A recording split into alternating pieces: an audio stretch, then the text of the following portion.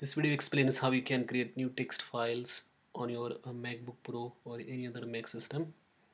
So for that there is one application called as TextEdit through which you can create new text files or RTF files.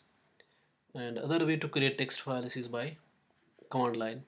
So first I'm gonna tell you about this text edit. As you can see I've already opened the TextEdit and uh, by default uh, when you save this file you can see that the extension is RTF that is rich text document.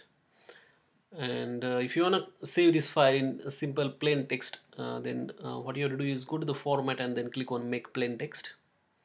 Then what will happen is when you try to save this particular file it will take the text extension. And at the time of saving this file you can choose the location where you want to save the file. So this is one way to create text files in Mac now I'm gonna also tell you how to create a text file using command line as well. For that go to the terminal or also called as command line and there as you can see uh, previously I've executed one command called as touch t1.txt so touch is basically a Unix command but you can use it in this Mac terminal as well. And then first of all give the command name that is touch followed by any number of files that you want to create let us say t2.txt let us create another file t2.txt then hit enter and then that file will be created in your current directory.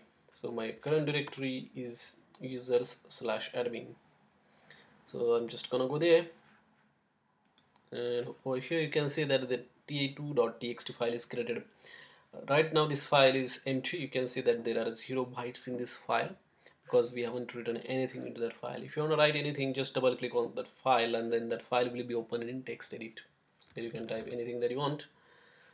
And once you are done you can save this file.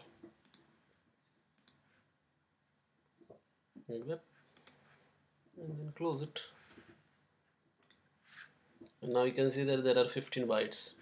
That's how you can create text files and uh, RTF files rich text uh, format files Thanks for watching this video.